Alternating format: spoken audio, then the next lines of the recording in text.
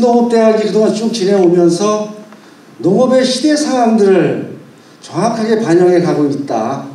지금 한국 농업의 패러다임은 많이 생산해서 많이 파는 그러한 농업 시스템이라기보다는 지금 우리가 하고 있는 네 개 학과의 그러한 모습으로 그러한 미래로 농업의 패러다임은 바뀌어 나가고 있고요.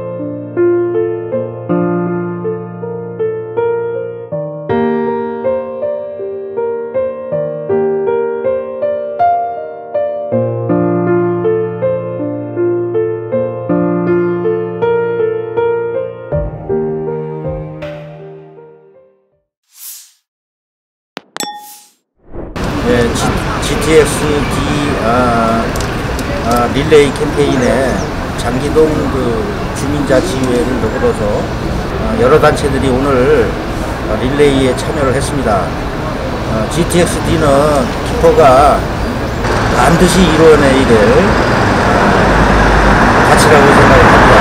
경기도하고 키퍼가 바라는 GTX-D가 반드시 이루어지기를 간절히 희망합니다.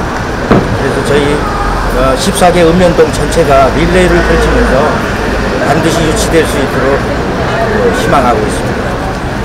GTXD 화이팅! GTXD!